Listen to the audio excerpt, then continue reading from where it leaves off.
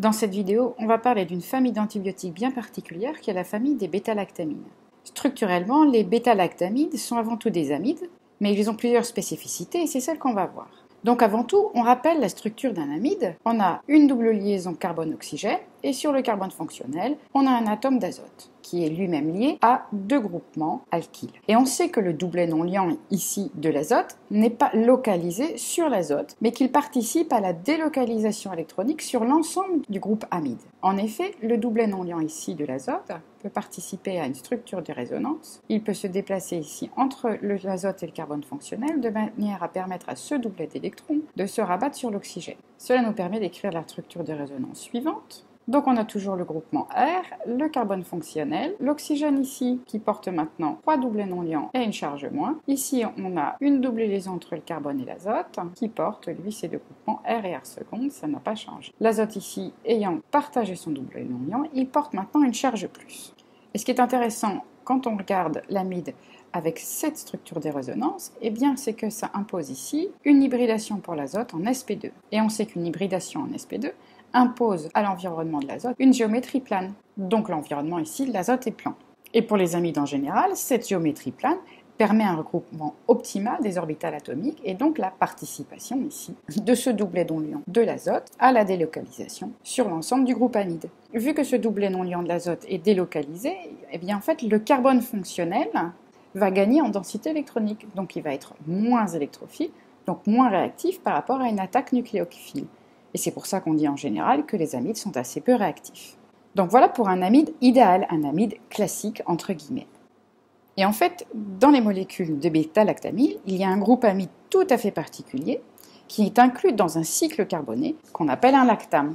Donc pour être un petit peu plus clair, on a ici la structure de la pénicilline qui fait partie de cette famille d'antibiotiques des bêta-lactamyl. Donc c'est pas tout à fait exactement celle de la pénicilline, ça peut être n'importe quel dérivé avec la présence ici de ce groupe R qui peut être modifié et qui peut nous donner par exemple l'amoxicilline ou l'ampicilline ou bien d'autres antibiotiques qui sont couramment employés.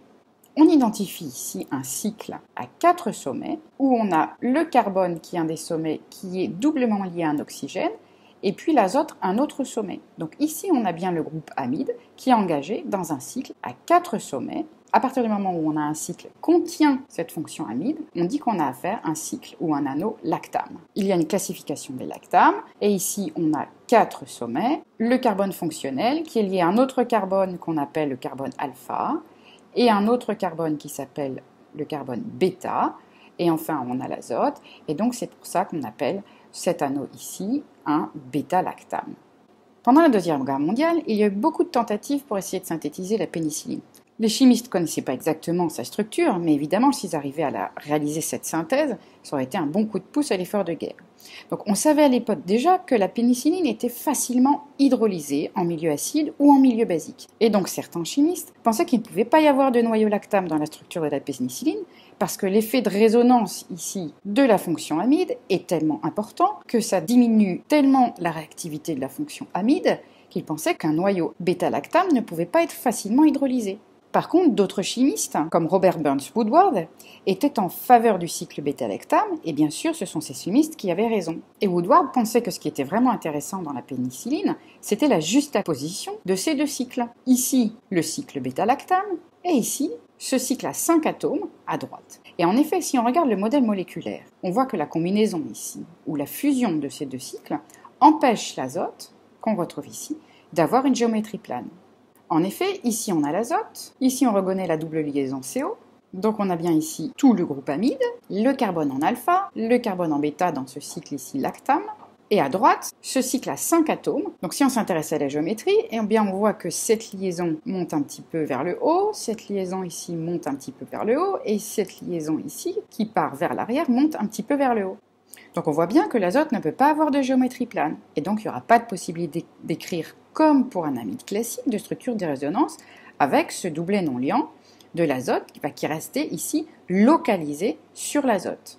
Donc l'azote ne peut pas donner son doublet non liant et donc la densité ici électronique de ce carbone fonctionnel ne peut pas être modifiée par résonance. Donc il reste bien partiellement chargé positivement et donc il est beaucoup plus électrophile et plus réactif que dans un amide classique Et c'est pour ça que les bêta-lactamines peuvent être facilement hydrolysées. Il y a un autre facteur qui permet l'ouverture assez facile des cycles bêta-lactam et donc l'hydrolyse, c'est la contrainte de cycle. Donc on va voir ça sur les deux photos suivantes. Donc ici, on a le cycle bêta-lactam avec la fusion avec le cycle à 5 atomes, comme on le retrouve dans tous les dérivés de la pénicilline. On a toujours l'azote ici, qui inclut dans le cycle le bêta-lactam avec le carbone fonctionnel. Et si on s'intéresse à ce carbone ici, il est lié à 1, 2, 3, 4 atomes différents. Donc ce carbone est hybridé en sp3. Et donc on sait que l'angle idéal pour un carbone qui est hybridé en sp3, c'est 109,5 degrés. Donc ça c'est l'angle idéal. Et évidemment, pour ce carbone engagé dans ce cycle qui est carré, l'angle entre les liaisons va être beaucoup plus proche de 90 degrés.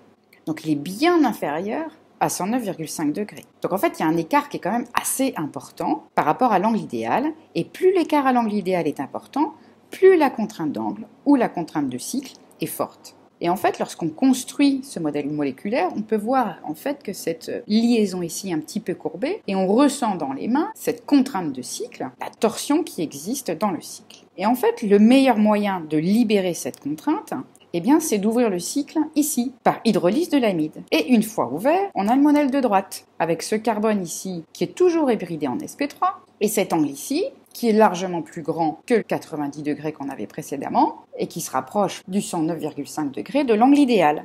Donc voilà pour la contrainte d'angle ou la contrainte de cycle. L'ouverture du cycle libère cette contrainte et permet aux lisions de se rapprocher de l'angle idéal. Et donc ça, c'est en faveur de la forte réactivité des bêta-lactamines par rapport à l'hydrolyse. Donc finalement, on a deux effets. Le premier qui consiste en l'absence de stabilisation par résonance de l'amide et le deuxième qui concerne donc la contrainte d'angle qui rendent le noyau de bêta-lactame très réactif, en particulier par rapport à l'hydrolyse. Donc on regarde maintenant le mécanisme d'action de la pénicilline. À droite, on a toujours le dérivé de la pénicilline. Et à gauche, on a une enzyme, la transpépidase, qui est une enzyme utilisée par les bactéries pour construire leurs parois cellulaires. Cette enzyme est active grâce à la présence de ce groupe OH. Alors, en présence du dérivé de pénicilline, c'est ce groupe OH qui fonctionne en nucléophile et qui va attaquer le carbone fonctionnel du groupe amide du bêta-lactame. On sait que ce carbone est plutôt électrophile, donc il va être assez sensible à l'attaque nucléophile. Et d'après tout ce qu'on vient de dire sur la plus forte réactivité de ce carbone par rapport aux amides classiques et à la contrainte de cycle, on sait que c'est cette partie en fait de la molécule de pénicilline qui va être la plus réactive. Donc c'est bien ce carbone qui va être attaqué par le nucléophile, le doublet non liant du groupe OH, qui va permettre à ce doublet de se rabattre sur l'oxygène. Et ensuite, au cours du mécanisme, on va reformer la double liaison carbone-oxygène ici. Donc les électrons vont repartir dans ce sens-là ce qui va permettre l'ouverture du cycle avec ce doublet qui se rabat sur l'azote. Et on obtient donc le composé suivant. Donc on repère bien les différents atomes, cet oxygène ici va se retrouver donc lié à la transpépidase. Le carbone en rouge qui a été attaqué, c'est celui qu'on retrouve ici et qui porte bien la double liaison CO. Ensuite, on a les carbones alpha et bêta qu'on retrouve l'un ici, lié à l'azote qui est ici, et l'autre ici, lié toujours au deuxième cycle. Et on retrouve l'atome d'azote qui a gagné un proton au cours de la réaction. Donc ce qu'il faut comprendre ici, c'est qu'en fait, par ce procédé, L'enzyme ici maintenant, elle est désactivée, car elle porte plus ce groupe OH qui la rendait active. Et lorsqu'elle est désactivée, elle ne peut plus participer à la construction de la paroi cellulaire de la bactérie. Et si la bactérie ne peut plus construire sa paroi cellulaire, alors elle est plus protégée et le système immunitaire peut s'attaquer à la bactérie et combattre ainsi l'infection bactérienne. Donc voilà pour un rapide coup d'œil sur le fonctionnement des antibiotiques de la famille des bêta-lactamines. Et pour résumer, les antibiotiques empêchent les bactéries de construire leur paroi cellulaire. Ça permet au système immunitaire de les attaquer. Et comme on vient de le voir, eh bien tout cela, ça vient de la chimie très particulière du cycle bêta-lactame.